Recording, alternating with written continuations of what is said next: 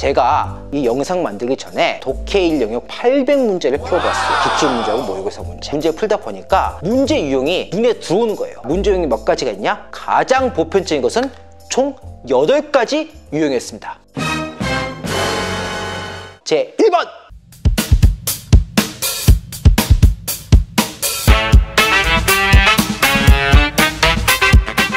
한 번에 승리하는 한승 중국어입니다. 여러분들 내년 3월이면요 완전히 HSK가 개편된 거 아시죠? 내년이면 내년에 걱정합시다. 아직까지 여러분들 우리에게는 9개월이라는 시간이 남아있어요. 9개월이면요 240점, 50점 충분히 딸 수 있습니다. 저와 함께라면요. 여러분들이 HSK 공부하다 보면 가장 어려운 거 독해일 영역인 거 저도 알고 있습니다. 여러분들 이런 경험 있었죠? 나는 정말 확신을 가지고 문제를 풀었는데 정답 지역을 비교해보니까 뭐야 이거 이 책이 잘못된 거 아니야? 답이 잘못된 거 아니야? 여러분들 아마 이랬을 것입니다. 저도 그랬거든요. 물론 답이 틀린 경우도 있어요. 모의고사 문제 보게 되면. 하지만 95% 이상은 틀리지가 않습니다. HSK 문제가 겉보기에는 굉장히 오류가 있어 보이지만은 알고 보면 정상적인 문장들. 또 겉보기에는 정말 멀쩡해 보이는데 알고 보면 오류문인 것들 많 습니다. 얼마나 혼동스럽습니까? 이것 때문에 여러분들이 틀릴 수밖에 없는 거예요. 하지만 여러분들 어쩌겠습니까? 여러분들이 만약에 독해일 영역 7문제 이상 맞추지 못한다면요 250점 절대 받을 수가 없어요. HSK 독해일 영역도 엄밀히 말한다면 문법과 관련되기 때문에 일단 문법적인 지식 쌓는 거 그것도 중요하겠죠. 때 먼저 기피할 것부터 말씀드리자면 절대로 예전에 나왔던 전통 문법 지식과 관련된 것은요 이제 더 이상 할 필요가 없습니다. Nope. 예를 들어서 我把一本书看完了 여기서 지금 틀린 게 무엇이죠? 바로 바자 뒤에 있는 이번 수가 되겠죠. 그 이유가 뭐냐면 바로 바자 뒤에 있는 목적어가 수량 구조로 되어 있잖아요. 이 수량 구조는 의미가 불분명하기 때문에 틀린 것입니다. 자, 여러분들 중국인 선생님께 이거에 대해서 여쭤보게 된다면 그분들 뭐라고 하시겠습니까? 그냥 외워라 이렇게 말씀하시겠죠. 예전에 참 많이 나왔던 문제예요. 9HSK 혹은 신 HSK 초반기에 많이 나왔었죠. 요즘은요 이런 문법 지식 묻는 문제 안 나옵니다. 그럼 어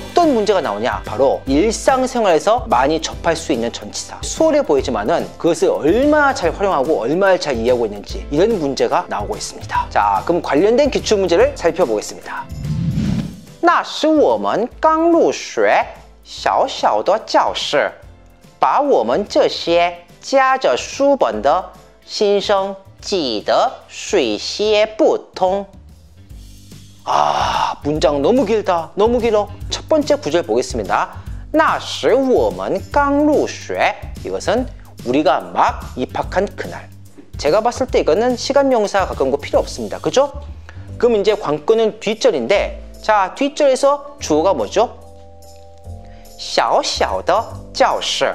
작은 교실. 이게 바로 주어가 되겠죠? 자, 그럼 바자 뒤에 있는 목적어 무엇입니까?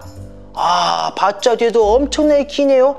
자, 여러분들 이렇게 바자 뒤에 목조가 길게 나왔죠? 더를 기준으로 해가지고 더 앞에 있는 것들은 그냥 무시해버리세요. 여러분들 더 앞에 있는 것들은 수식어로서 수험생들 혼란만 시키거든요. 그럼 여러분들 봐 보고 더 바로 뒤에 있는 신성 요것만 여러분들 목적으로 간주하면 되겠습니다. 신성은 바로 신입생이 되겠죠. 记得水泄不通이라는 것은 이건 서수가 되는데 물샐 틈도 없이 꽉 차다는 뜻이 되겠죠. 그죠? 수식어 성분 빼고 만들어 본다면 小小的教室把新生记得水泄不通 이렇게 볼 수 있겠죠. 자, 그럼 여기서 여러분들 한번 제가 해석해 볼까요? 작은 교실이 신입생들을 물샐 틈도 없이 꽉 차게 했다.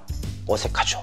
뭐가 어색하냐? 어떻게 교실이 무생물인데 신입생들 꽉 차게 할 수 있을까요? 말이 안 되죠. 그럼 어떻게 고쳐야 될까? 바로 발을요, 빼이로 고쳐야 됩니다. 그럼 빼이로 한번 고쳐볼까요? 작은 교실이 신입생들에 의해서 물샐 틈도 없이 꽉 차게 되었다. 깔끔하죠. 문장을 좀 길게 하고 일상생활 잘 쓰고 있는 전치사에 대해서 기본 개념을 잘 파악하고 있으며 얼마나 잘 활용하고 있는지 이런 문제가 나오고 있다는 것을 확인해 보았습니다.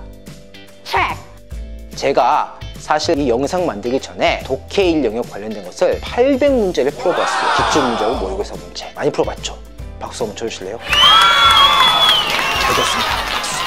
자, 그럼 여러분들 제가 많이 문제 풀다 보니까 문제 유형이 눈에 들어오는 거예요. 문제 유형이 몇 가지가 있냐? 가장 보편적인 것은 총 8가지 유형이었습니다. 제 1번! 어법 요소 중복 찾기. 여러분들 중복 문제요 꼭 나오게 됩니다. 다섯 문제 이상 풀어드릴게요. 제 설명 듣고 나면요 든든할 것입니다. 2번 유형 잘못 사용된 전치사 접속사 문제입니다. 이것도 최소한 한두 문제가 나오게 되는데 이것도 제가 많이 문제 풀어드릴게요. 세 번째 어순 문제가 나옵니다. 아 어순 문제 진짜 많이 나오대요. 종류는 거의 세 가지 정도가 되겠습니다. 관용어, 부사어, 수량 부족 이 세 가지 정리해서 여러분들께 확실하게 개념을 잡아드리겠습니다. 네 번째 결여된 필수 성분 찾기입니다. 여러분들 문장에서 필수 성분이 무엇이 있습니까? 주어, 서술어, 목적어가 있겠죠. 이 중에서 한 개만 결여가 되어도 오류문이라고 볼 수 있습니다. 이것도요, 최소한 한두 문제 나오게 되기 때문에 이 유형과 관련된 문제들 많이 풀겠습니다.